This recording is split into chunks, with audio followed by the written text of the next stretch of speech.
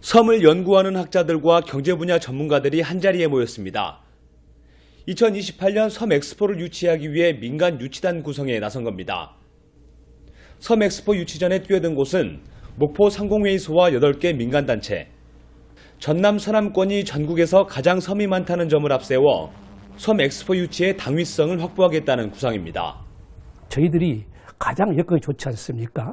전남의 서무의 70%를 가지고 있는 게이 서남권입니다. 이 지역이 엑스포를 유치한다는 것은 당연한 일이고 섬 엑스포를 전남 서남권이 가져와야 한다는 필요성이 제기된 건 올해 처음 열린 섬의 날 기념식 직후입니다.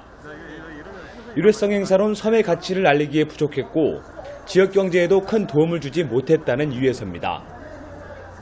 세계 섬 엑스포를 유치했을 때 예상되는 경제적 파급 요과는 약 8조 원 규모, 고용 요과도 15만 명이 넘을 것으로 보입니다. 민간 유치단은 그동안 섬 엑스포에 대한 서남권 지자체들의 관심이 부족했던 만큼 공감대 형성을 통해 한 목소리를 내겠다는 계획입니다.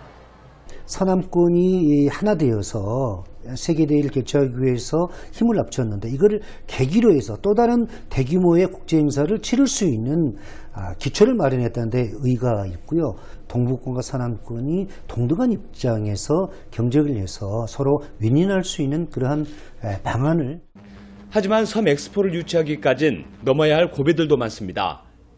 전라남도와 여수시가 준비를 각각 따로 하고 있는 데다가 개최 시점도 서로 다르기 때문입니다.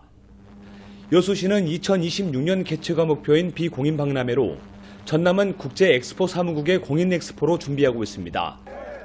여기에 2030년 부산 월드 엑스포가 확정되면 섬 엑스포 개최는 물거품이 될 가능성이 높은 상황. 자칫 지역의 역량이 분산될 수 있는 만큼 무분별한 경쟁보단 오히려 결집력을 키워야 할 것으로 보입니다. 헬로티비 뉴스 고정민입니다.